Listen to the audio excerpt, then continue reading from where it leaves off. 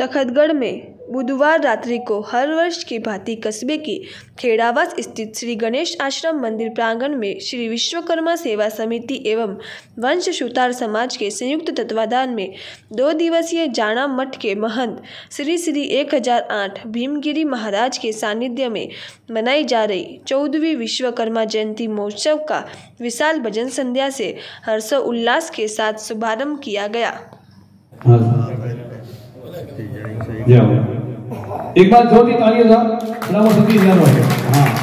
ये चलो घड़ा में घड़ी तालियों बीट दी दोस्तों आ थोड़ा थोड़ा हाँ। हाँ सही है।